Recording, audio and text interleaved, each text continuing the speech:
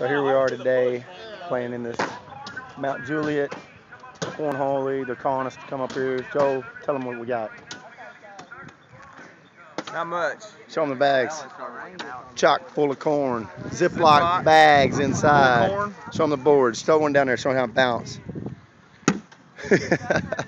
it's gonna bounce. Oh, and it slides too. But see, here, give me a throwing one. Get that on.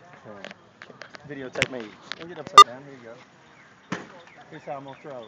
Boom. See that bounce? Watch the bags. I'm gonna throw 'em. Look, Kenny, get it, in. it's windy. See that bounce? Bounce. Bounce. Yeah, I made my first one. Joe left it, made his first one. Let you know later, next time. Петин.